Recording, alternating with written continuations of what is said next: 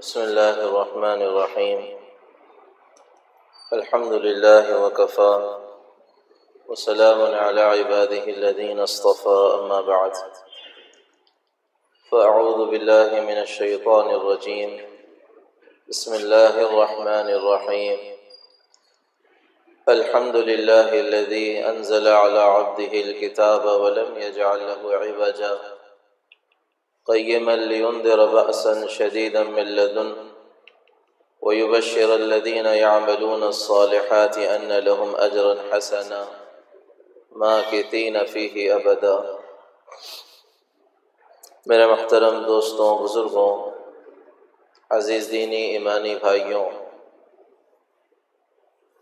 ये बात हमने अर्ज़ की थी कि इमसाल जो अनवान हमारा तफसीर का रहेगा। वो कुरान और दजाली फितनों का तस्करा होगा। हजूर अक्रम सल्लल्लाहु अलैहि ने दजाली फितनों के मुकाबिल में उम्मत को ये बात बयान की थी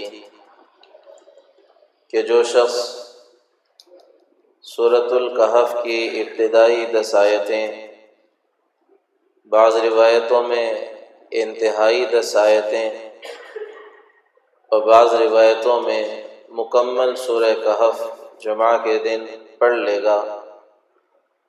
अगले जुमा तक अल्लाह ताला दज्जाल के फितनों से उसकी हिफाजत करेंगे।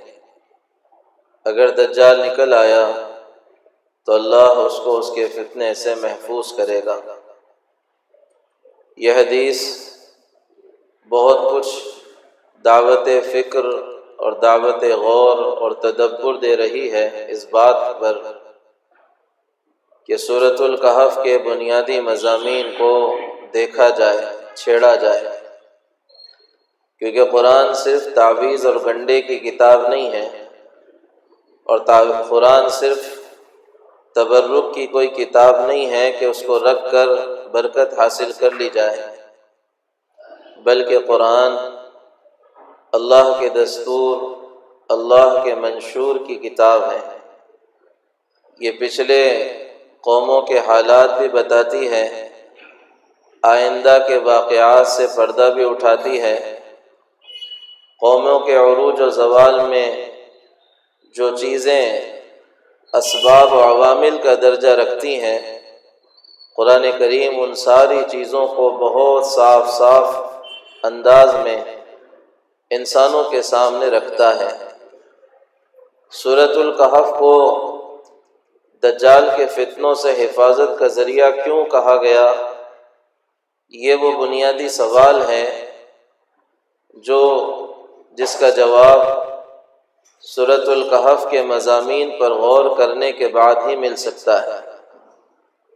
अगर हम गौर करें तो इस सूरत को तीन चार मुख्तलिफ़ अनवानात के तहत अल्लाह ताला ने तकसीम किया। है इसका पहला रुकू एक बुनियादी जबते और क़ानून की तरफ़ इशारा करता है और उसके बाद असहाब कहफ का तस्करा होता है। उसके बाद दो ऐसे लोगों का तस्करा होता है, जिनमें से एक को अल्लाह ने माल दौलत से नवाजा था और दूसरे को कुछ कम रखा था।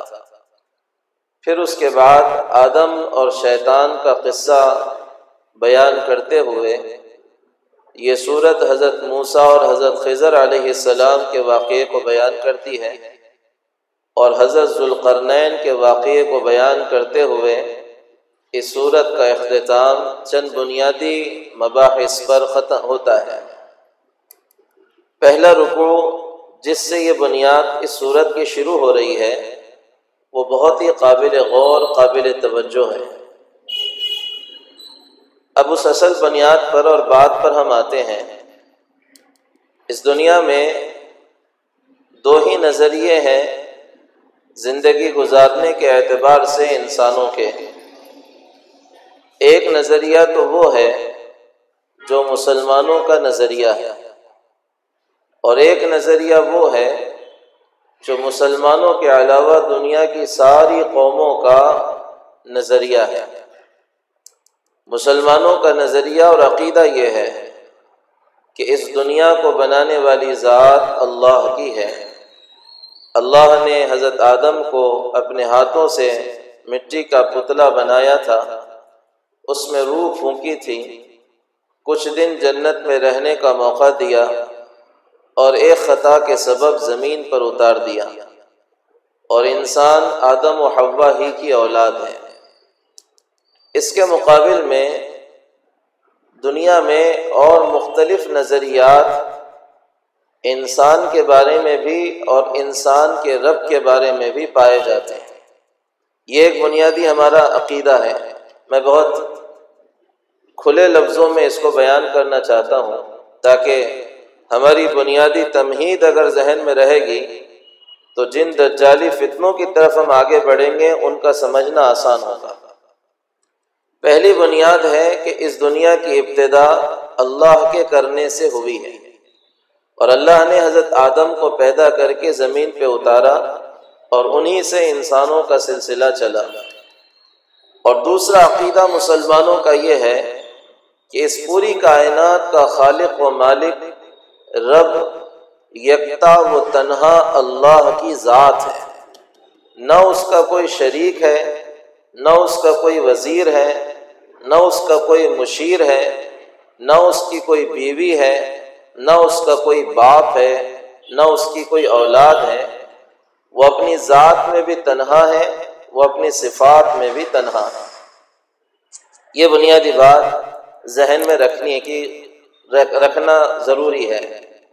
यह है मुसलमानों का अकीदा इन दोनों के ताल्लुक से, इंसान और अल्लाह के ताल्लुक से। इसके अलावा जितने अम्बिया सलाम हज़रत आदम से लेकर हज़रत ईसा तक आए हैं सबने पूरी इंसानियत को यही बात बताई कि, ए लोगों, तुम आदम व हवा की औलाद हो और तुम्हारा खालिक और मालिक एक अकेला तन तनहा अल्लाह है। लेकिन हर ज़माने में इंसान ने अपने वजूद के बारे में भी बहस की कि मैं कहाँ से आया। लिहाजा नज़रिए इरतका डार्विन का जो थ्योरी है कि साहब ज़ीरो से वन और वन से फिर टू और टू से थ्री और फोर का फार्मूला चला है। ज़र्रात बनते बनते फिर चीज़ बनी और फिर चीज़ें बनते बनते इंसान जानवर बना। और जानवर के अंदर तब्दील होते होते बंदर बना, बंदर में तब्दीली होते होते अब इंसान बन गया। लेकिन पता नहीं कि ये तब्दीली का इतना मरहला कौन से ज़माने में आया था और किसने ये सब देखा था, वो इसका जवाब देने से खासिर है। और इसके अलावा दुनिया में हज़ारों नज़रियात इंसान के बारे में पाए जाते हैं। ज़्यादा मशहूर ये है। इसके अलावा और भी बहुत कुछ है। बहुत कुछ नज़रियात पाए जाते हैं। जैसे ही खुद इंसान के बारे में मुख्तलिफ़ इस तरह के नज़रियात हैं, वैसे ही अल्लाह के बारे में भी लोगों के अलग अलग नज़रियात हैं। हिंदू तो सीधे सीधे अल्लाह के अवतारों के चक्कर में शिरक और बुत परस्ती के अंदर मुबतला है। लेकिन वो कौमें जिन्हें खालिस तोहहीद की दावत दी गई थी, ऐसी दो कौमें इस दुनिया में आज भी मौजूद हैं। एक है यहूदी और दूसरे है ईसाई।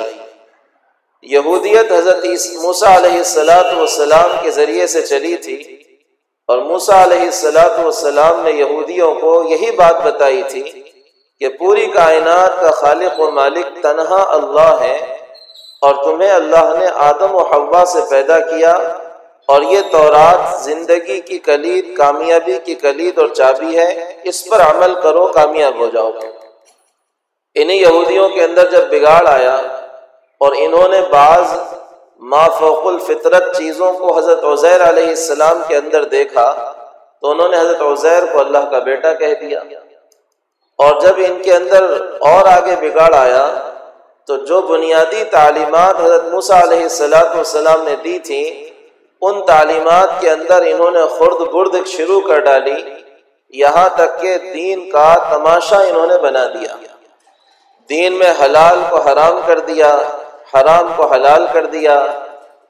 नबियों के मुजस्मों की इबादतें शुरू कर डाली और फिर कारोबार सूदी शुरू कर दिए।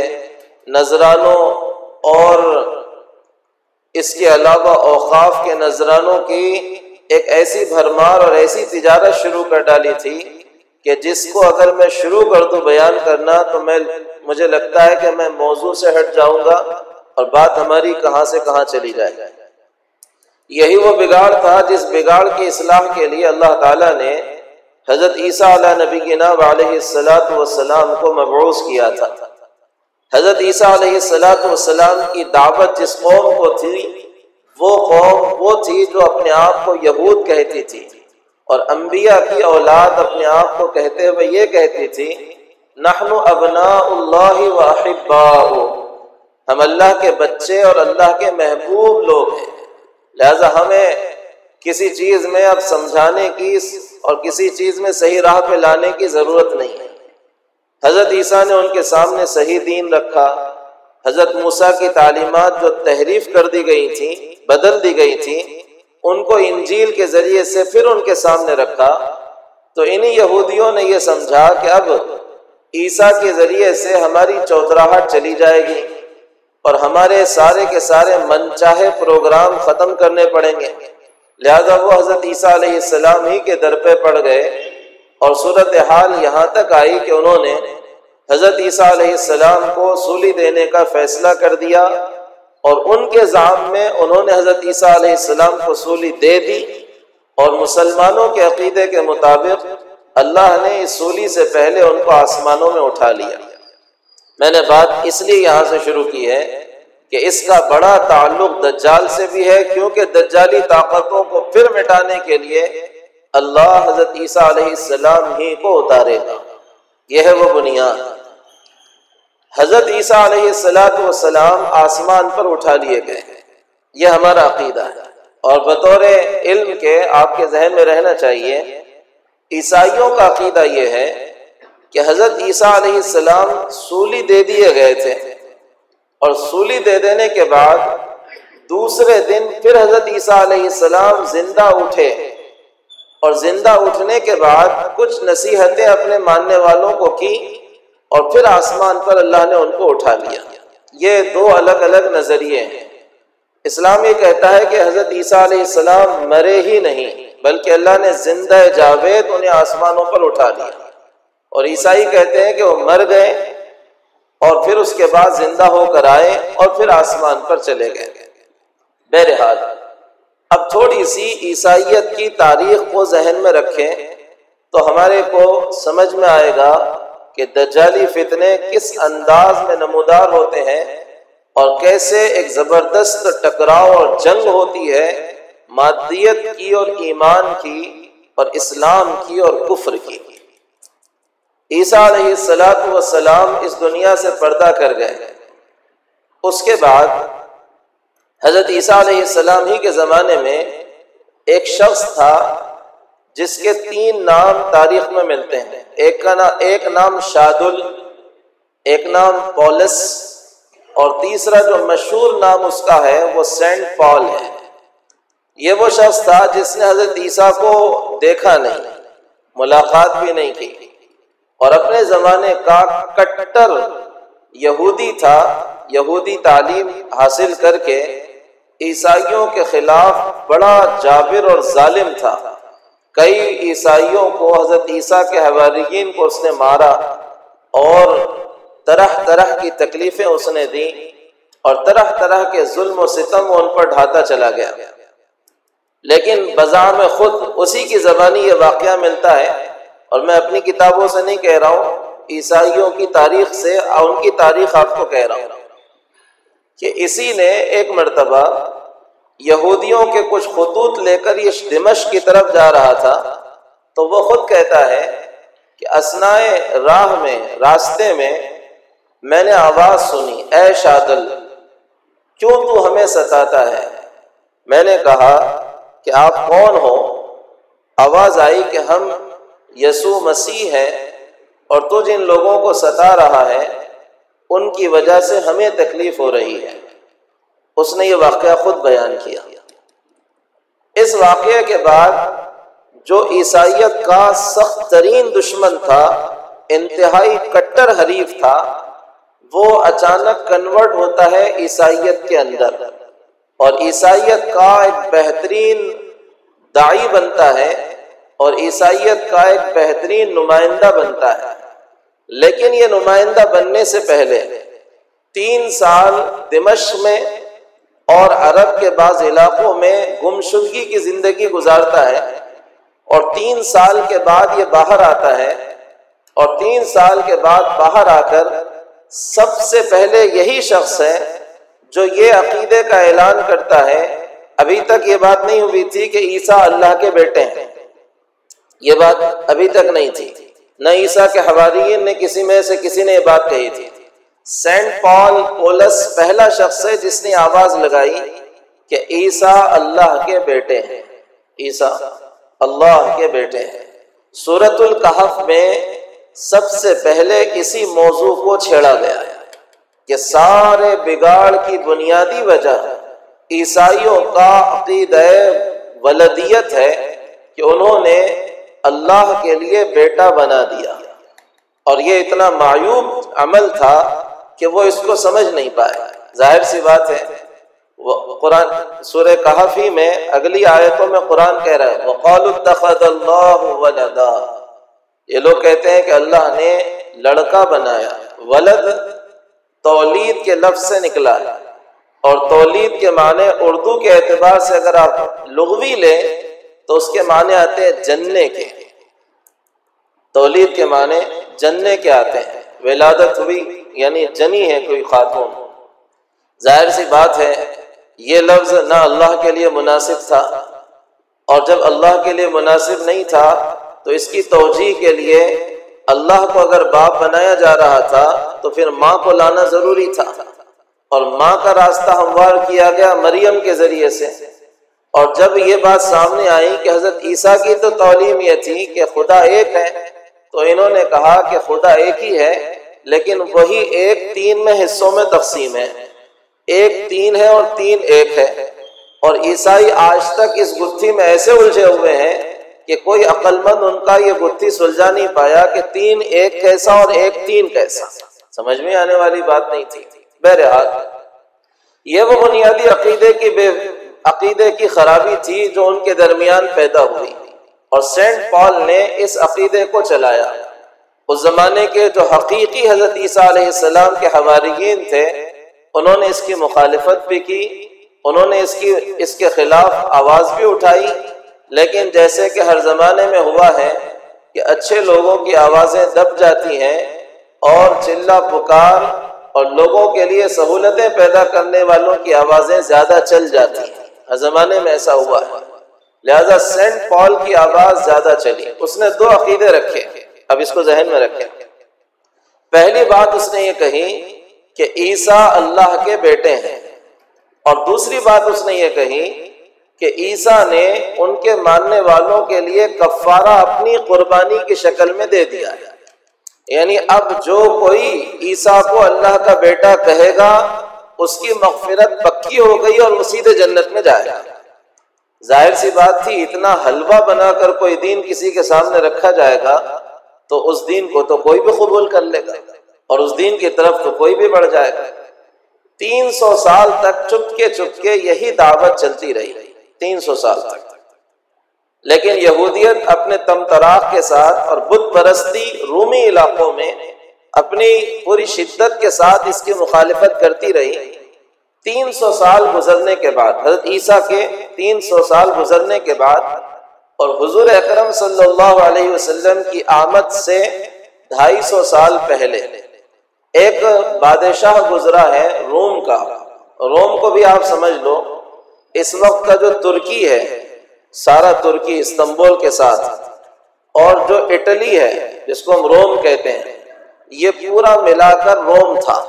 ये सारा का सारा रोम कहलाता था।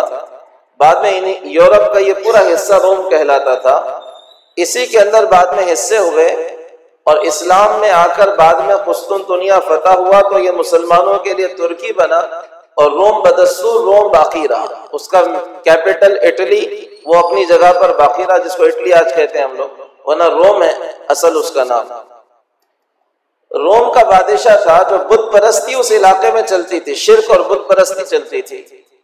इसने बिल आखिर ये ऐलान किया कि हम अब ईसाइत को कबूल करते हैं। बाजाबता सुपर पावर उस जमाने की ताकत थी, रोमन अम्पायर सबसे बड़ी ताकत थी। इसने बाजाबता सरकारी ऐलान कर दिया कि अब हमारा मज़हब सरकारी मज़हब वो ईसाइत होगा। और ईसाइत होगा इस ऐलान के साथ ही साथ बाज वाकयात मिलते हैं। इसका नाम था कुस्तुनतीन कॉन्स्टेंटाइन इंग्लिश में जिसे कहा जाता है। इसको जुजाम का मर्ज हो गया था। तो इसके अपने इलाके के जो बुद्ध परस्त थे, इन बुद्ध परस्तों ने इसे कहा था कि तुझे इलाज उस वक्त मिलेगा जब तू नन्हे मुन्ने बच्चों की कुर्बानी देगा। उसी जमाने में जो ईसाई मुबलिक थे, जो पॉप कहलाते थे, पॉप, फादर कहलाते थे, उन फादरों ने कहा कि तू बच्चों की कुर्बानी ना दे, हम तेरे लिए दुआ करेंगे, तू सेहतयाब हो जाएगा। और उनकी दुआ से वो सेहतयाब हो गया, और इसी अमल पर उसने ईसाइत भी कबूल की। और दूसरी तरफ़ ईसाइत कबूल करने के बाद उसने जो पॉप थे, चर्चों के उन पॉप्स को बड़ी हैसियत और बड़ा मर्तबा दिया। अब ये पॉप जो बने कलीसा के, इसकी बुनियादी बात समझ लें कि जिस हमने सेंट पॉल का तस्करा किया है, सेंट पॉल के साथ हज़रत ईसा के एक हवारी पतरस जिनका नाम इंग्लिश में कहा जाता है, असल नाम उनका शमून था। उनका भी तस्करा मिलता है कि ये दोनों बाद में फलस्तीन से मुंतकिल हुए रोम में, इटली में वेटिकन सिटी जो आज मौजूद है, ईसाइयों का सबसे मुकदस शहर, इन दोनों को वहाँ मुंतकिल किया गया। और फिर पतरस जो हज़रत ईसा के हवारी थे, उनके बारे में ये बात चलाई गई कि वो यहाँ मदफून है और सेंट पॉल की भी वहीं पर कब्र बनी। तो गोया ये दोनों की जो कब्र थी, दरगाह थी वो सबसे बड़ा कलीसा बना ईसाइयों का। और वहाँ का पॉप सबसे बड़ा पॉप आज़म कहलाया और इसको ताकत और कुत देने वाला जो था, वो 300 साल के बाद बादशाह कुस्तुनतीन कॉन्स्टेंटाइन था। इसने बाजाबता एक फरमान जारी किया था, जो आज तक वेटिकन सिटी के अंदर मौजूद भी है और वो इसको बयान भी करते हैं। उसने ये बात कही थी और ये बात उसके, उसने सबके सामने लाई थी कि अब पूरे रोम के ऊपर जो सबसे ज़्यादा ताकतवर शख्सियत होगी, वो पापा आज़म होगा, पॉप होगा सबसे बड़ा, और सारे उसके मातहत होंगे। ये खेल अब यहाँ से शुरू हुआ।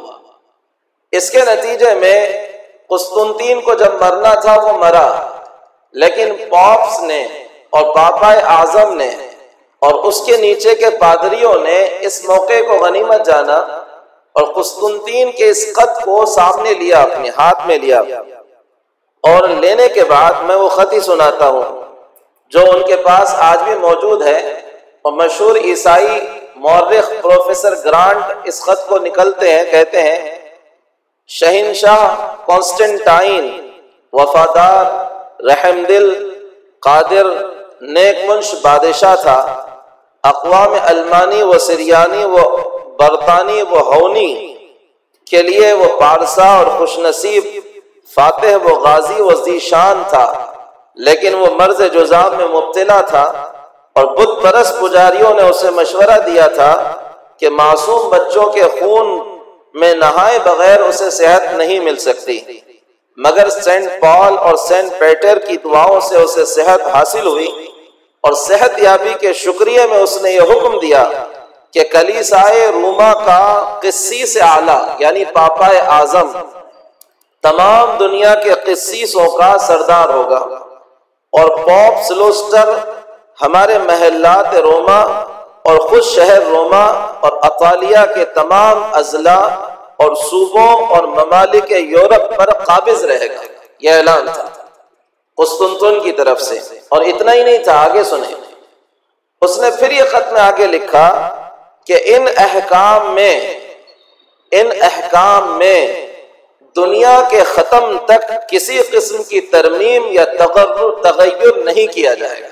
ये वो बात थी जो पादरियों को ईसाई बहुत शानदार हाथ लगी थी। इसके नतीजे में जो सूरत हाल सामने आई वो ये थी कि चौथी सदी चौदहवीं सदी के अंदर हजूर अक्रम सल्लाम की आमद के करीब करीब तक यूरोप भर के अंदर जहालत का रिवाज था और ये पॉप और पादरियों ने माहौल इस तरह बना दिया था कि इनकी ताकत सारी यूरोप के हुक्मरानों के ऊपर मुकम्मल हो गई थी। और ये इतने मज़बूत हो गए थे और इतने ताकतवर हो गए थे कि ये चाहते तो किसी इलाके के बादशाह को माजूल कर देते थे और ये चाहते तो किसी को नया बादशाह बना देते थे, और बादशाहों के अंदर भी इतनी ताकत नहीं थी कि वो इनका मुकाबला कर सके। लिहाजा इन्होंने सबसे ज़्यादा इस सिलसिले के उस वक्त की रिवायतें मिलती हैं, जो उस वक्त के पॉप्स की जो तकरीरें थी, उसके टुकड़े में आपको सुनाता हूँ, जिससे आपको अंदाज़ा होगा कि किस तरह इन्होंने माहौल बनाया पॉप्स के लिए और पादरियों के लिए, और उसका नतीजा बाद में क्या आया, हम उसका भी तस्करा करेंगे। सबसे पहले यह ऐलान हुआ, पापाए रोमा का दुनिया में कोई सानी नहीं। उसके अफाल पर हरफ गिरी करने वाला कोई नहीं। कलीसाए रोमा को न कभी धोखा हुआ है और न कभी हो सकता है। पोप को, शहनशाहों को माजूल करने का इख्तियार है। इंसानी नखुवत ने बादशाहों की कुत पैदा की और खुदा के रहम ने पोपों की कुत पैदा की। पोप बादशाहों का भी आका होता है। और फिर आगे कहते हैं, खुदा ने हमें, यानी पॉप और पॉप के चेले चाटों को बादशाहों और शहीनशाहों का सरताज बनाया है, ताकि हम उसके नाम से जिसे चाहे उखाड़ फेंके, तबाह कर दें। और अगर चाहें तो तुखम रेजी करें और नई इमारत बनाएँ। ये चंद मैंने नमूने आपके सामने रखे। इस तरह की बयानबाजियाँ होती थी किसी भी बादशाह को डराने के लिए, धमकाने के लिए, जिसके नतीजे में ये सूरत हाल थी कि बादशाह की अपनी एक ताकत होती थी, लेकिन वो ताकत भी पौप की ताकत के सामने कमज़ोर थी, इसलिए कि अवाम और रियाया इन पौप और पादरियों के चक्कर में फंसे हुए थे। इसका सीधा नतीजा क्या हुआ? इसका तस्करा हम आगे करके बुनियादी तौर पर उन फितनों की तरफ़ जाएँगे जो इस जमाने में फिर से उसी तरह पलट कर आए हैं। अल्लाह अमल की तोफ़ी